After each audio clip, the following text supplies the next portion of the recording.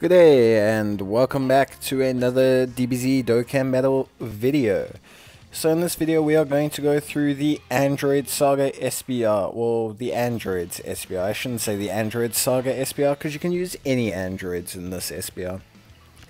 So the team that we're going with, uh, we're going to take a friend Android 13, we're going to use arguably the worst Android lead, uh, Android 21, uh, mainly because, unfortunately, the first form cell is only a artificial life forms lead. Uh, hopefully one day when we get a new androids lead or maybe when the agility androids from the friend summon get an EZA, we'll get a nice free to play option of a friend of a android lead. Um, but yeah, so we're going to run the android 13. Uh, we're going to run a a whole bunch of free-to-play cards alongside all of them. We've got the Android uh, 14 and 15 support card. We've got Android 17 Future, Android 18 Future. Uh, we have the first form cell. We have the Android 21, who is our non-free-to-play lead card. Uh, and then we have the Android 18 support card from the Baba Shop. So just overall, um, with this team, basically the idea is that you're going to link the Android 14 and 15 with the Android 13, uh, and then that's going to be your one rotation, uh, and then you're going to have Android 21 first form cell kind of floating, and you're going to have Android 17 and 18 linking up in the other rotation. Uh, you really need to link up the Android 17 and 18 future quite early on, uh, because they gain it 70% attack and defense at the start of turn, but they also gain another additional attack and defense of 70% when they are both in rotation together, or well, at least when you have a Android Future, you know, like Android 17 Future with their Android 18 Future. So you could use other options that have the same name, but obviously if you're not, you can use both, but you just need to make sure that they meet their requirements. Android 18 gains a medium chance to dodge, and Android 17 has a medium chance to crit. Uh, but that's obviously, you know, something that they're just going to keep inside with them. Uh, that means we're going to more or less put Android 18 to tank up front first, uh, just in the event of any super attacks. Uh, and they both stack attack and defense on their supers. So that'll be an okay defensive rotation for us in the second rotation, but they're not going to be super solid uh, offensively really during this entire EZA. Uh, I mean, this entire SBR EZA. Uh, then Android 13 and Android 14 and 15 are going to be linked together. So Android 14 and 15, once they're linked with Android 13, they give us the super uh, overpowered ability of being able to see when enemies super attack. And that's really going to obviously help us decide where we're going to limit damage, when we're going to use items and things like that. Um, once the they also gain an additional attack, very similarly to Android 17 and 18. They gain additional attack and defense when they're on rotation with the Android 13. Uh, and then if they're on rotation with the fused Android 13, uh, they provide support and gain damage reduction. So overall, they're going to pair really nicely with this Android 13. Uh, he himself will be fine. Uh, it's the friend one, but he's really solid. Uh, he's got attack and defense, of 100%. He also has a support passive for androids, uh, and he stuns and lowers attack on his super attack. So he's perfectly fine. Uh, then we've got Android 21, who's 90% attack and defense with a 20% reduction of attack and defense whenever she hits. Uh, plus, she obviously restores 10% health whenever she super attacks. And similarly with uh, the first form cell, uh, he he gains health back on his 12 ki, um, he will lower attack and defense on his 18 ki. He has decent starting stats of defense, 20,000, 30,000. Uh, he also uh, gets a critical hit whenever he's attacking a unit in attack down status. Uh, and because we have Android 13, Android 14 and 15, Android 21, and himself, he should be able to proc that relatively often enough. Plus the Android 18 support that we have uh, provides ki uh, and a decent 30-ish percent boost to Android Saga, or Android's units, I should say. Uh, so at this point, we're looking pretty good. And yeah, um, beyond that, uh, the teams we've got pretty decent synergy. Uh, in terms of Android teams, you have a lot of options for units. You have uh, the Incel, You have the physical cell, you have the cell juniors, you have uh, strength cell, you have int EZA cell, tech EZA cell, um, you have the second form support tech cell, uh, so you could go for like a full on cell lineup. You have a whole bunch of other Android 17s and 18s uh, that don't even have to go into. There's tons of them. Uh, you could also build uh, into the LR, Android 17, 18, and 16. There's the uh, you know MVP 17 and that whole Universe 7 kind of Android phase as well. Uh, and then we've still got yeah all the movie Androids. We've got the 13. Uh, we've got the two fused 13s, the Int and the Tech one, who are okay. Uh, they're not bad. They're not good. They're kind of just they're okay. They could do this SBR, this this first one. Um, and then you've obviously got this lead Android 13. Uh, you've got the strength Android 13, who's uh, mainly good against Goku units, but I mean, he is there. He is an option. Um, and yeah, uh, you've got quite a few options. So overall, uh, oh, and uh, we need a new Android 21. However, uh, hopefully a base form one that transforms or something like that.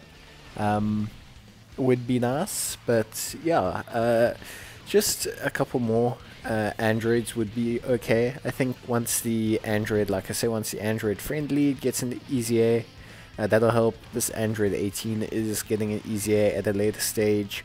Um, so yeah, I think I think overall, uh, the Android Saga is currently very healthy. I think it's actually a very strong team. Uh, there's a lot of good options. I think what they do need um, or the Android team, what the Android team does need is mainly like for its segmented components. Like Android 13 needs a couple better linkers for him. Uh, he really only links well with Android 13 and Android 14 and 15 units. Uh, so he needs a bit more of a build around around him. Maybe an Android 18 and 19 friend support who supports Android category, uh, or Androids, or you know the Cell Saga category. Um, I think, yeah, an Android 18 solo card would be good. Uh, Android 19 solo card could be pretty good. Um, Android 16's got some okay cards, but definitely could do with either a standalone LR uh, or maybe a uh, standalone card uh, for sure. Another one, um, especially an AGL super top one, please. Uh, but no, yeah, like you really can run uh, quite a few units, but they just need a couple more to create synergy within their own lineups. Um, but yeah, the Android so the Android like category is pretty reliable. Uh, and that was the transformation for Android 13. When he transforms, by the way, he's attack and defense 130%, and then he gains attack and defense of 13% uh, for every single Goku target category person on the team. Unfortunately, we only have two or three of them. Uh, the Android, future Androids don't count for some weird reason. They're not on the category. Um, and then the the Android 21 is not on the category as well, uh, which is a bit strange. But yeah, so we're not going to get the biggest boost from when he transforms, but you'll still be doing some pretty good attack stats, which is going to be pretty awesome. And on any Android team that he's on, there should always be some target Goku category enemies, which means he should always be getting at least some bonus to his passive there. So that's pretty good.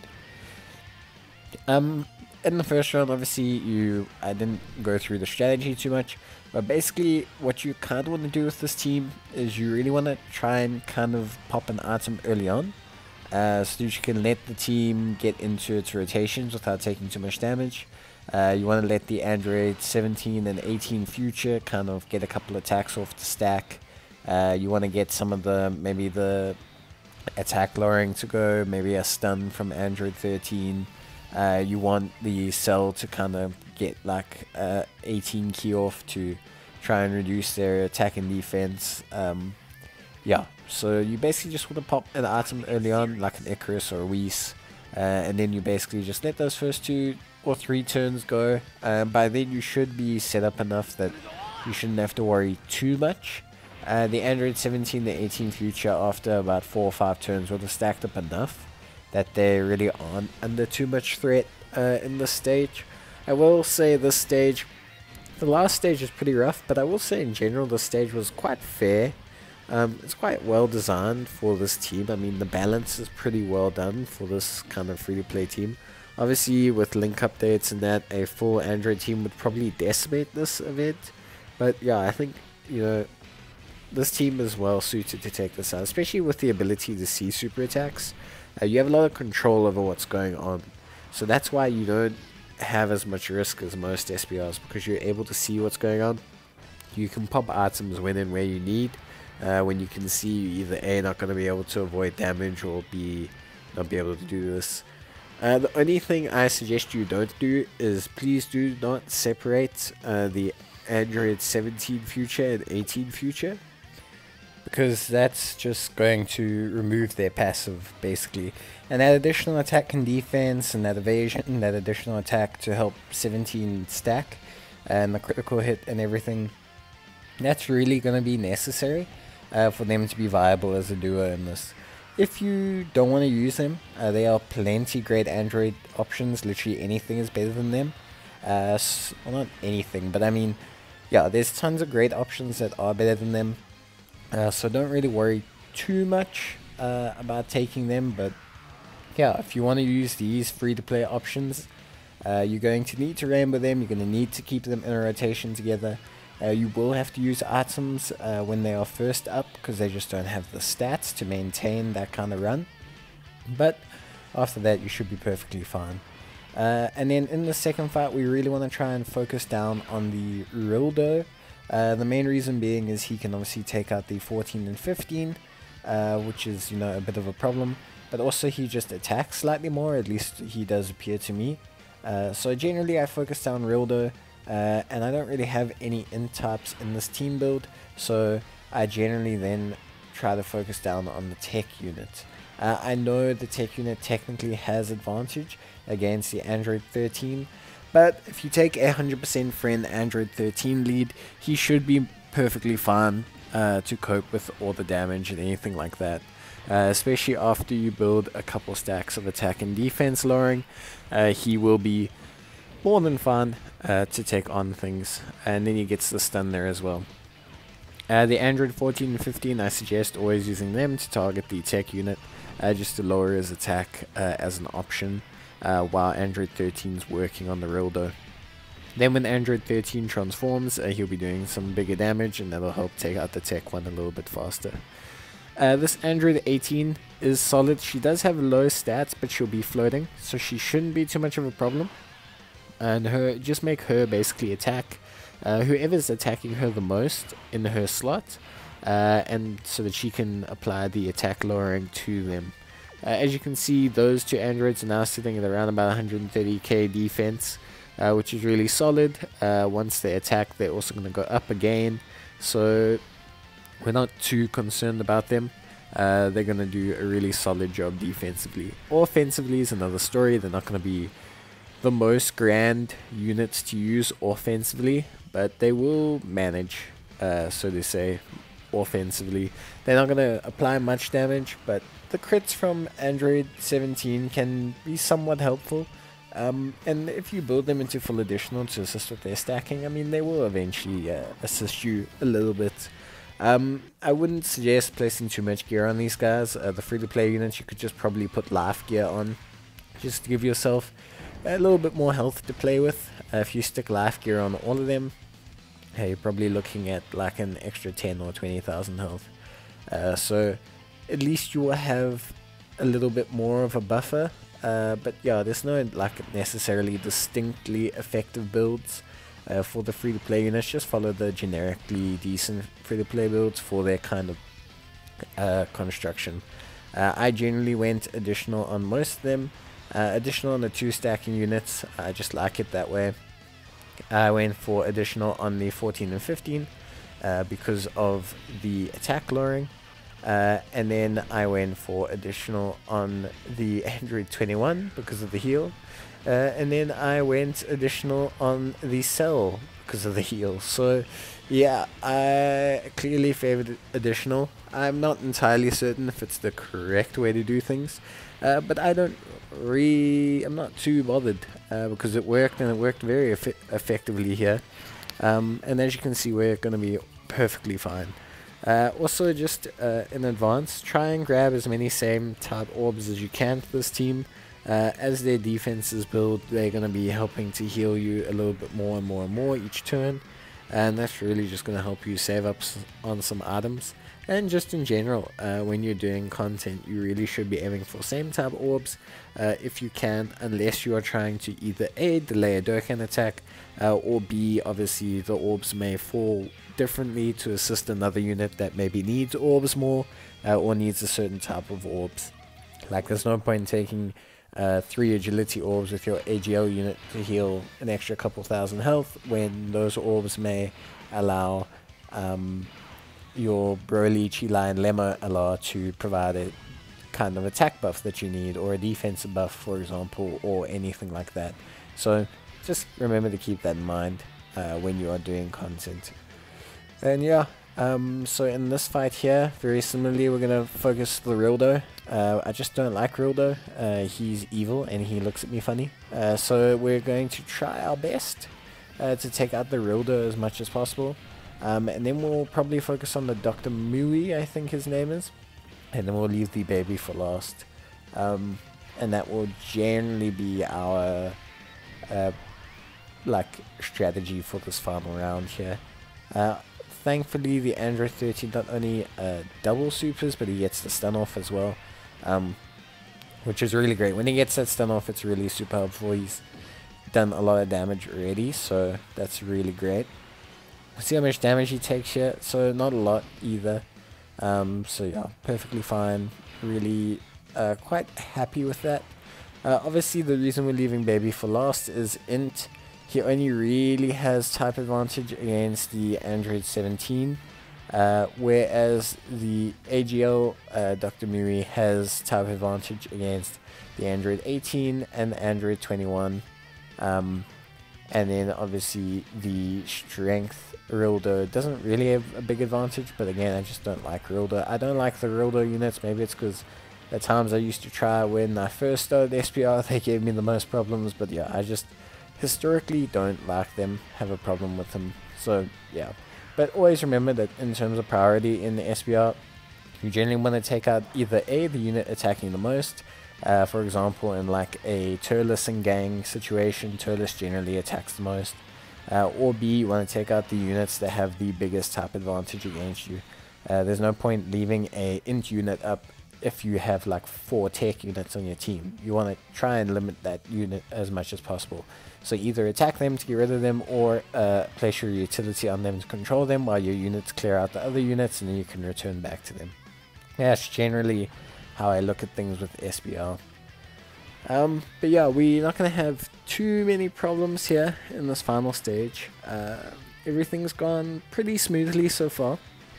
The Android 17 and 18 future combo uh, has done relatively well.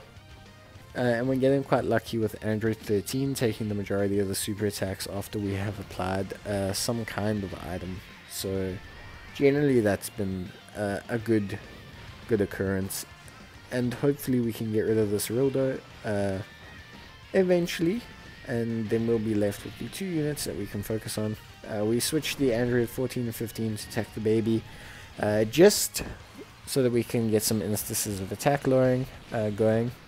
As you can see there, Rilldo did a lot of damage uh, and they're going to take even more damage now.